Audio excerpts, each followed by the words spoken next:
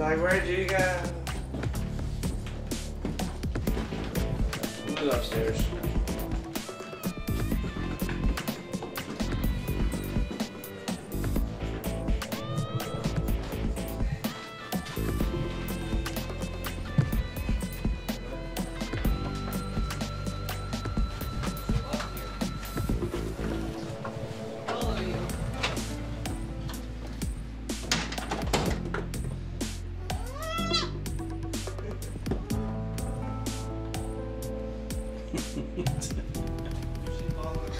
Me.